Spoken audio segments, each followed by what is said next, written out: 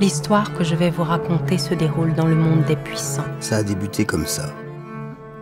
En ouvrant ce vieil album pour la première fois, Mais comment sont-ils arrivés là? Je vais vous raconter leurs secrets.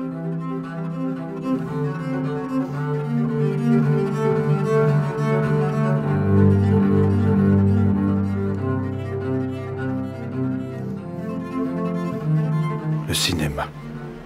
C'est l'art de marcher et de voler, d'apparaître et de disparaître, l'art d'exister éternellement.